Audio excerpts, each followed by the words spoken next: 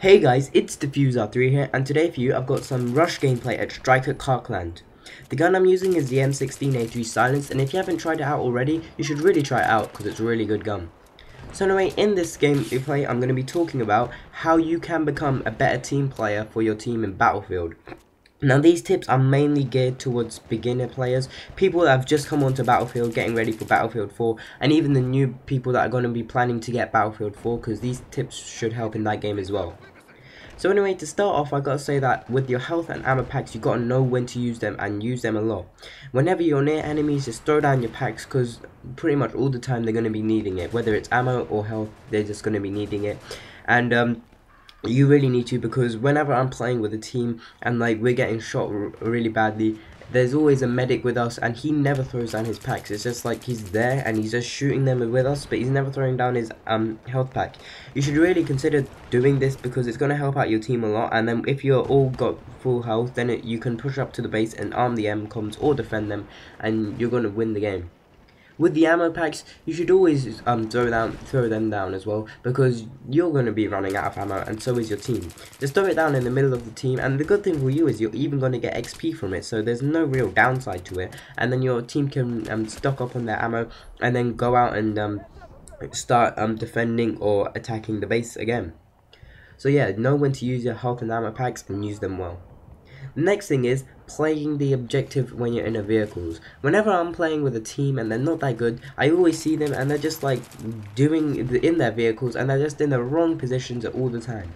You gotta just be round your base and um, you gotta be like making sure no one's coming in to attack it. And um, if you're attacking, then you just gotta be with your vehicles pushing up because lots of um, the classes only the um, only the engineer and the um, support class can really take out vehicles and that's like if they have the right equipment. The assault class can sometimes take it out and so can the recon if you got an expo but most of the time people don't use them.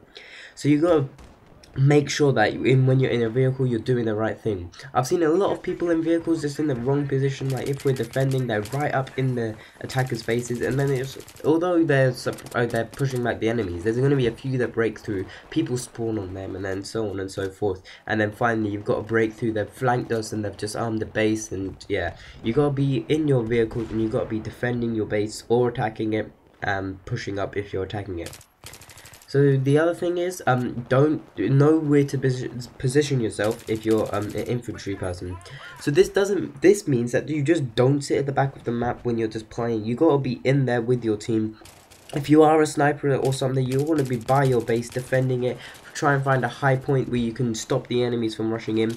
In the last MCOM base on this map, you can sit up on that little um little kind of tower kind of place and stop the enemies from coming in over the water on the little islands and stuff you can just take them out from there and that's going to help your team out as less people are going to be getting to the MCOMs and then if the people that do you've got more people at your MCOMs from your team that can um, stop them from getting in. Also if you're on the attacking side you can maybe sit at your side of the map and take out the um snipers with your sniper but I don't but this doesn't mean that you can just sit right at the back of the map where you first spawned and try and take them out from there trying to get a really cool long shot. This maybe is okay in conquest but in rush it just doesn't help out your team at all and you're basically stopping uh, your team from having an extra player and you're just basically being really bad at the game so you shouldn't do that the final thing I gotta say is spotting. Now spotting is a thing which can help out your whole team. Like just it just is the best thing in the game. I gotta say. Spotting is basically like having a personal UAV on you at all times. You can just track anyone, and um, yeah, it's really good. So how you do it is you just um, use the select button on the PS3 or the um the other one on the Xbox. I don't know what it's called. It's the one. It's the one next to the start button the little button there. And um, yeah you just got to do that. Press it over an enemy and it'll spot them for like 10 seconds or something. Now this is really good as if you're in a place and you can see a lot of enemies coming you can spot them all then your other teammates will know that they're coming in that way and they can take them out. Your teammates are going to like this a lot as um they'll know where the enemies are and then also you get points for spotting them and when they get killed you get points for that so it's going to be good for you.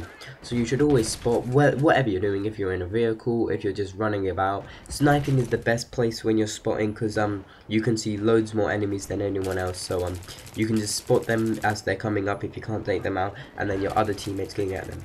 Anyway this has been the commentary. Hope you've enjoyed it. Don't forget to leave a like and i'll see you guys in the next one